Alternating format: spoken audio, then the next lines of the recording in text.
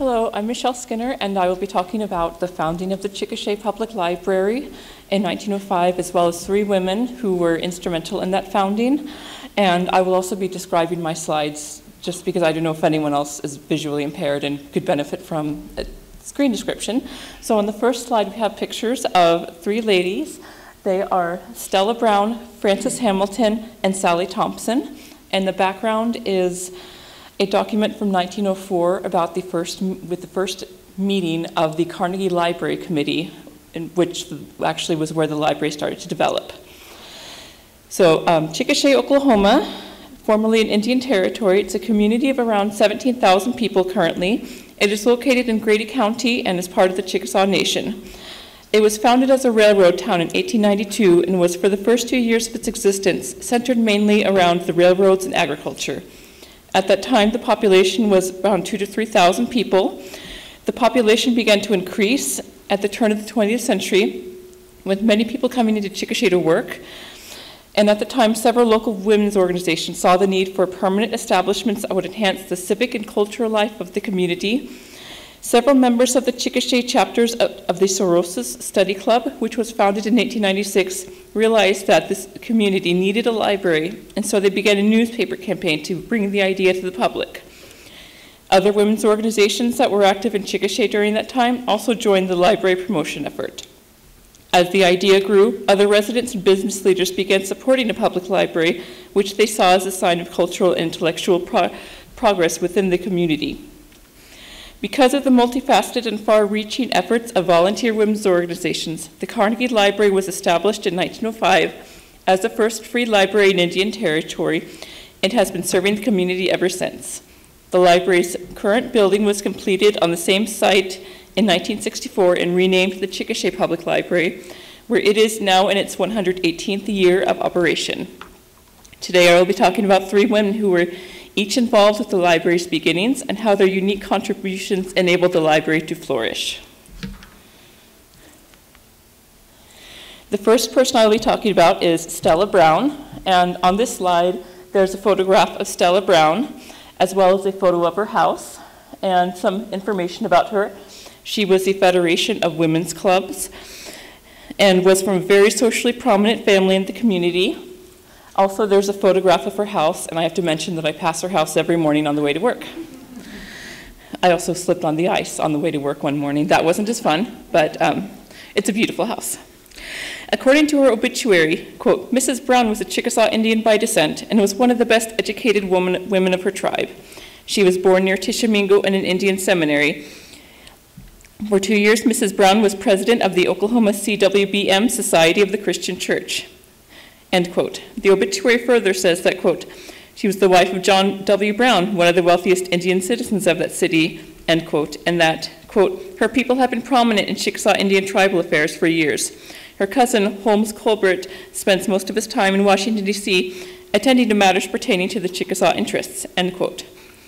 Stella Brown used her considerable influence and her civic leadership to advocate for a public library, which began with the newspaper campaign. Many articles were written in the Chickasha Daily Express in the earliest years of the 20th century by volunteer women from around 1900 to 1902, explaining the, the benefits of a library, eventually winning public support for the idea. And this slide shows one of the many newspaper articles that were written at that time. They were opinion pieces and they were written by volunteers to tell the community why a library was not only feasible but necessary. Three women's clubs, the Sorosis Study Club, New Century Club, and the Chautauqua Circle, with the support of Mayor R.F. Scoffrin, requested a grant from Andrew Carnegie in 1903 for the purpose of building a public library. They received the grant and immediately formed the Carnegie Library Committee. They began fundraising, secured the land, purchased the land, and solicited book donations. Stella Brown told the newspaper that, quote, the word fail has been taken out of our vocabulary in this as well as all other matters that relate to the welfare of our city. And this slide shows a photograph of the opening of the Carnegie Library on March 23, 1905, and a photo of the exterior of that library. When the library was dedicated on March 23, 1905, Reverend J.D. Bowen delivered the principal address and then handed the key of the building to the library board. Stella Brown was the first president of that board, and when she resigned in 1906 for health reasons, she wrote that quote, It has now been more than three years since my connection with the work of the Carnegie Library, and we have succeeded so far in making it a great success, and the relations between the members and myself have always been of the most pleasant character. Unquote. Among other things, Stella Brown also donated a china cabinet to the library. Her obituary in 1911 also highlighted her library involvement, saying that, quote, she was one of the foremost citizens in securing of the Carnegie Library for Chickasha. By her work and influence, the library was located, built, and maintained. And the second person we'll be talking about is Frances Hamilton. At the library's dedication in March 1905, Frances Manby Hamilton, who lived from 1860 to 1919, greeted citizens as they arrived. She was originally from England and was the wife of, wife of Reverend Eugene Hamilton. They moved to Chickasha in the 1880s, where Eugene Hamilton served as the first minister of the First Presbyterian Church, which was founded in 1892. Fun fact I play piano and organ there every Sunday. So I thought that was a very delightful fact. Frances Hamilton was very involved in a variety of civic organizations and was also well known in the community as a prominent library supporter. She was a member of the Federation of Women's Clubs, as well as an accomplished pianist who spoke German, Italian, and French. Frances Hamilton and her husband helped to organize the First Presbyterian Church, which is located across the street from the library. And she somehow found time to develop the library at the same time. So all of her efforts were purely volunteer and purely for the love of her community. And this slide shows her photograph, and she greeted library visitors, and so her photograph is now in a historic display where she can continue to greet people coming into the library today. So that always makes me smile.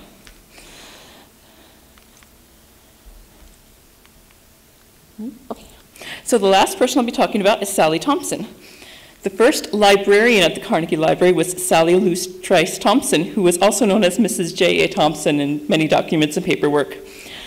She graduated from high school in Decatur, Texas in 1889, and then studied at Baylor University. She had been an elementary school teacher in Texas for seven years before moving to Oklahoma in 1903 with her husband, Joseph A. Thompson, who owned a meat, a meat market in Chickasha, as well as and their son, Wallace Thompson. Sallie Thompson answered an ad placed in the Chickasha Daily Express on May 16, 1905 that read, quote, librarian and janitor needed for the new library, and was unanimously chosen by the library board in August 1905. Her initial salary is $40 per month.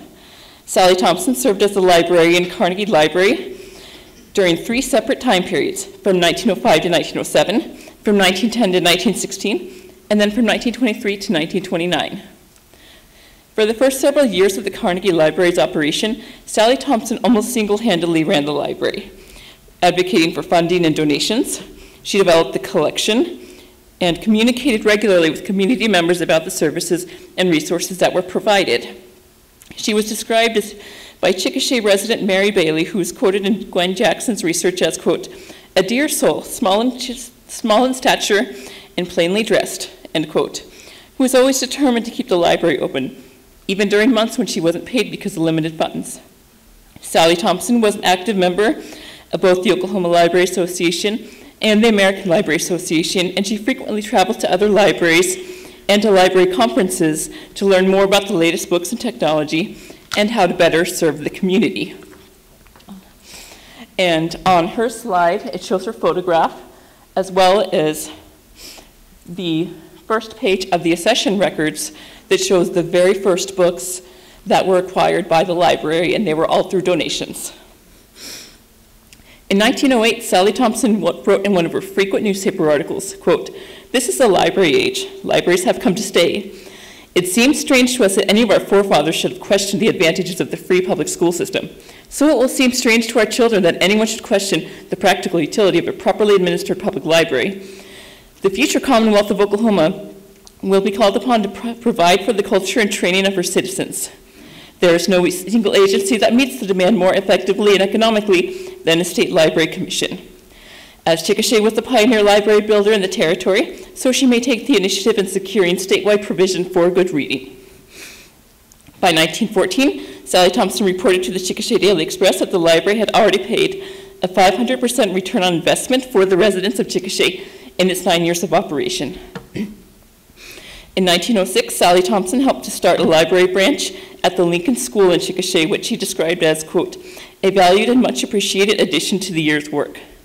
Before the middle of the 20th century, Jim Crow laws in Oklahoma were in effect, and white lawmakers prohibited African Americans from using public libraries. In 1911, Oklahoma session laws mandated that separate libraries and reading rooms be established in town whose African American population was more than a thousand people. The library board had tried to establish the branch for 15 years, but no appropriation of funds had been made by the city council. Although books had been donated to the Lincoln School for several years, this was the first time it became an official library branch.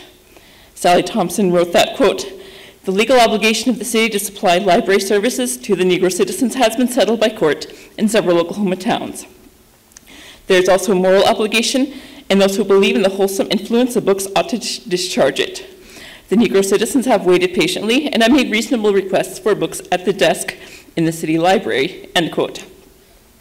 The Lincoln School Library branch served Chickasha's black community until the mid-20th century when schools and libraries were integrated and the Carnegie Library of Chickasha could finally fulfill its duty to serve the entire community. Sallie Thompson officially retired in 1929 after having contributed greatly to the growth and development of the Carnegie Library. According to Oklahoma Libraries 1900 to 1937, quote, Mrs. J. Thompson was first, fourth, and eighth librarian, serving the library for 14 years during its first quarter of a century. The record of its progress is largely a record of the faithful work and intelligence lavished upon it by Mrs. Thompson, who was recognized as a leader in library affairs in the state. Her major interests were the children's department and work with the schools. The organization of a colored branch of the Lincoln School in 1926 was one of her achievements. And then here on this, we see the exterior of the Carnegie Library surrounded by various newspaper articles written by and about the library staff. the three women mentioned here are just a few of the many volunteer women who were dedicated to building and maintaining institutions for the greater good of society. There were many others. Mary Smith, who ran a library out of her home without pay while the Carnegie Library was being built and was the first person to receive a library card in Chickasha. Kate Biggers, who solicited the first 100 books for the Carnegie Library in 1905. Grace Dorsey, the first librarian at Lincoln School, who provided Chickasha's black community with access to books during the 1930s and 1940s students from the Oklahoma College for Women who helped with Vacation Reading Club and Children's, Children's Story Hour, and countless library staff, volunteers, and community advocates who believed in the library and who were dedicated to providing information and resources to people. And the final slide shows a photo of the Chickasha Public Library taken in September 2022 and sources where you can read more information. Women volunteers were essentials to the establishment of the libraries, civic and cultural organizations, and education in Chickasha, as well as many early Oklahoma communities. They took on the challenge to provide infrastructure and created a sense of community and permanence that allowed communities to grow and flourish. Of course, it was not always a perfect system. The women who were able to effect change and create institutions were those who had the time and resources to do so. They were, for the most part, wealthier and more privileged than most women in rural Oklahoma, and they had access to education, social status, connections, and organizational influence. The institutions they created, as with anything created by people, reflected all of the prejudice and biases of the creators, and they also existed in society that had segregation, inequality, and economic social problems, and all of the other problems of historic and modern life. However, the ideals that these women held on to transcended their immediate circumstances and looked into a future that was full of possibilities because I knew that the public, goal, public good was a worthy goal. That forward-thinking vision is why today we can affirm that libraries are for everyone, that information and resources should be accessible to all, and that libraries are essential to creating a more equitable and inclusive world, both now and into the future. Thank you.